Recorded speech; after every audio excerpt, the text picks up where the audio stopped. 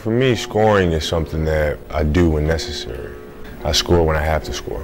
But on the Olympic team, it was a breath of fresh air because I could really focus on what I really, really love to do, which is play defense. I mean, I just love it.